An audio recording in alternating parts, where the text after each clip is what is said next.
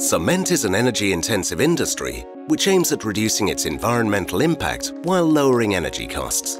The Turboden ORC plant supplied to CRH in Rohoznik, Slovakia is an example of a 5 megawatt ORC module that recovers heat from the kiln and the clinker cooler.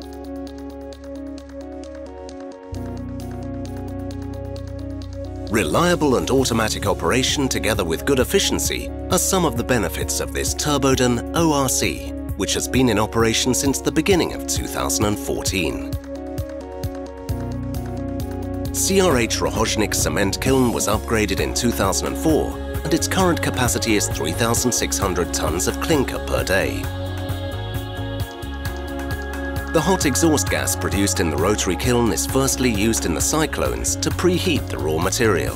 And then at a temperature of around 360 degrees centigrade, it is conveyed to a heat recovery exchanger, where the residual heat is transformed to a thermal oil loop.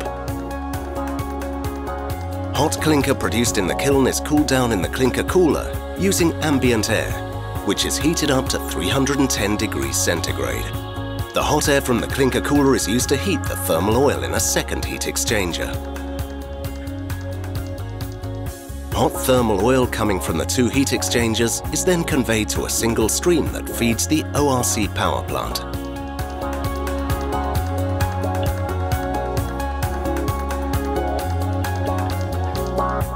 The heat recovered from the exhaust gas is converted into electric power, feeding the cement plant's electric power grid.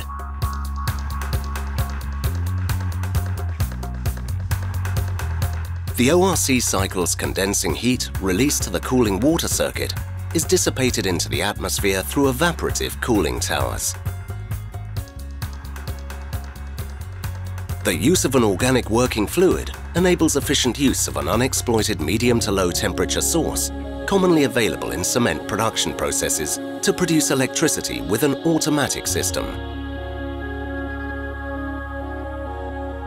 The ORC modules are remote monitoring controlled and require no dedicated operator and minimal yearly maintenance activities. Thereby they allow the cement plant technicians to remain focused on the cement production process. Flexibility of ORC solution allows to use different heat carriers such as thermal oil, pressurized water and saturated steam, or to have a direct heat transfer between the hot gases and the ORC fluid. The ORC system installed at CRH site represents a further confirmation of Turboden's expertise in waste heat recovery power plants.